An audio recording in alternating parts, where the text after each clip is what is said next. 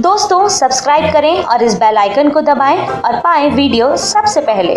Because उनके बारे में हर रोज खबर आप लोगों तक नहीं पहुँचती। है but I am a woman and I been in the public eye for 25 years. So many times people think कि आपको क्या मालूम औरतों के साथ क्या होता है हमारे देश में? आपके साथ तो बॉडीगार्ड घूमते हैं, आपके साथ you got all these other facilities to protect you. Let me tell you that where you are eve teased by two people we as women in the public eye, even with 10 bodyguards, are dealing with hundreds of men that have often managed to misbehave with us. And we know exactly how it happens in this country, trust me, in volumes.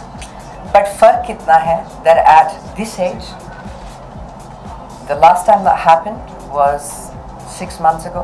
I was at an award function, you guys were there as well. 15 year old boy 15 and because इतने सारे आदमी थे उसे लगा मुझे पता नहीं चलेगा कौन था but this is why tell you guys do some learn something of self defense it makes you very alert so i grabbed his hand and i was so shocked when i pulled him up that he was a little boy he was 15 years old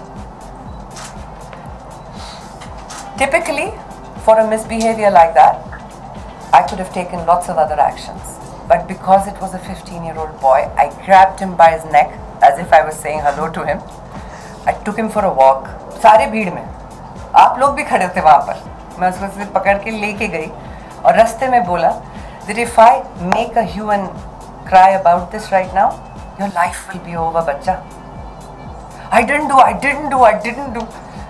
ऐसे नहीं बेटा करा तो आपने अब ईमानदारी से पहले एक्नॉलेज करो कि किया आई एम सॉरी ओके आपको पता है आपकी जिंदगी खराब हो जाएगी it be done I promise will never happen know if it does I have seen your face now get out here That's the difference. I recognize in a 15 year old boy that he's not been taught that this kind of is, is not an entertainment.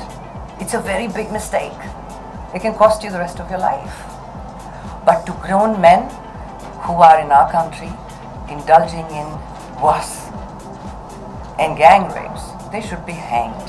Without a doubt, there should be no understanding or mercy for it.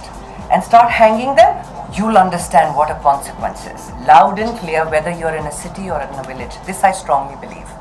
And then we'll think of mercy and a better place to live in.